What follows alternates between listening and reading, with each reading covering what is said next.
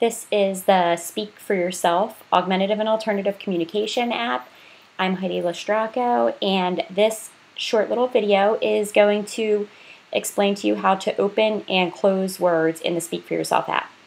So, this is the app with everything open, and a lot of times people are a little bit overwhelmed by the buttons um, on this main screen. So, what you can do to start off, if you have a user who is not quite ready for this vocabulary all at once, is you can go up here to the upper right hand corner to open and close, and you're going to touch that. And you see it changes and it says open and close words. Now, down in the bottom right hand corner, there's the option to close all. So you're going to touch close all, and you see everything kind of gets grayed out. And then what you can do is just touch the words that you want to start with. So you could touch eat, drink, I, go, stop, more, whatever you'd like. And then when you're done, in the upper right hand corner, you're going to touch done. And there you go. You've closed the words on the main screen of Speak for Yourself. Now, say that, you know, that's great. Now you have all of this um, blank space and all of this dead space so that if a child has some trouble with fine motor issues, they they can kind of fine tune those a little bit. What you could do, though, here is you could touch the Eat button and you see I'm going to open all of this back up. So if you wanted to open it, you could go like this and open everything in that bottom right hand corner as well. But you see if you have everything open, what you can do is you can go to this bottom right hand corner and touch close all.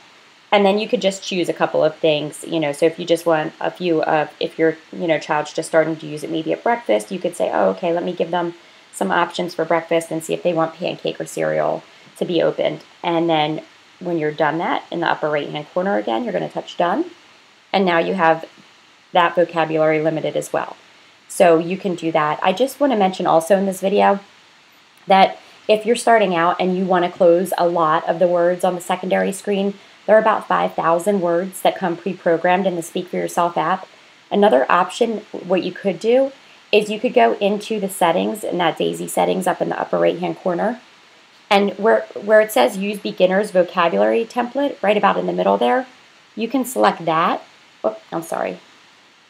You could select use beginner vocabulary template. And it's going to tell you that um, once you do this, this is something you want to do in the beginning because this is actually going to replace your vocabulary file that's in there. So if you've done programming, this is not something that you want to do. But if you've just opened the app and you're, and you're thinking, I need to close a lot of vocabulary, this is going to take your vocabulary from about, about 5,000 words to a little over 200 words. So you can go in here and you can say apply template.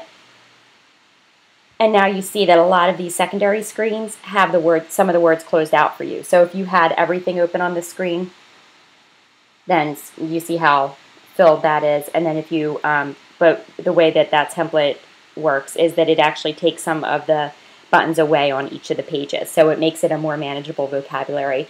All of the words are still there. It doesn't delete anything. It just closes them out for you so that you don't have to go screen by screen to do that. That was um, based on some feedback from speech language pathologists that we did that. So there you go. That is how you open and close words in the Speak for Yourself app. Thank you.